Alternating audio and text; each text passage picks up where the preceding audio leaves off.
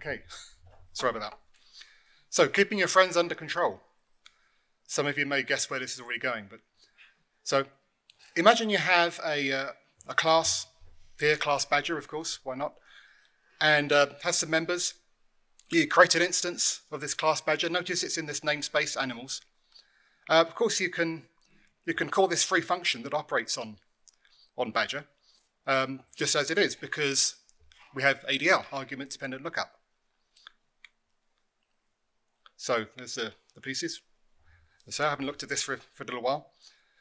Um, of course, you can also qualify that free function with the namespace that it's in. And that works as well. And we're not using ADL. But interestingly, if you put that free function inside the class as a friend and also make it inline, this is now no longer findable using ADL because it's technically not in that enclosing namespace. Which means the only way, sorry, the only way to find it is with ADL. Let's get that the right way around. So if you try to call it qualified with a namespace, that's an error. But if you call it unqualified, ADL picks it up. So I can't remember why I put this slide in. I knew this was a bad idea. but anyway, what's the, um, what's the benefit of this? Is it just a, a curiosity?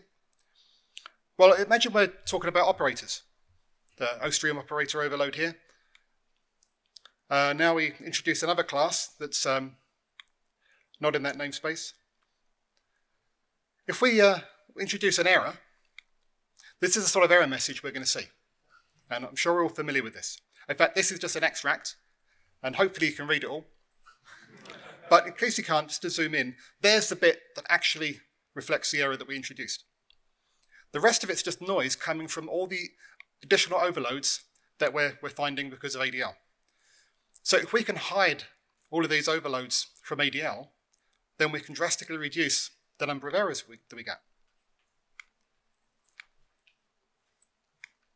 And that sort of reflects the uh, what we cut out. But um, I'll zoom straight on to this, this proposal from um, uh, Walter Brown and others. Recommendations for specifying hidden friends. So this was actually um, raised as a, uh, a standards proposal for the benefit of other standards proposals so that they can consider using this technique to reduce the number of overloads uh, that we we actually exposed to not just error messages, but also uh, compile times as well. Uh, having to consider all those additional overloads uh, has a bit of a drag. So I think it's really good that we're going in this direction. Whether you actually use this technique yourself um, is up to you because there is a trade-off in that you do have to make them inline um, friends of the class, which may not have been what you wanted to do otherwise. There is another proposal, the independence of declaration which proposes a, a new keyword to actually allow you to do the same thing without changing how you design the code. But do note the date of this proposal April the 1st uh, this year. I'm not saying that means anything, but um, if you want to go and have a look at that, there's the, the GitHub link. So that was it. Thank you.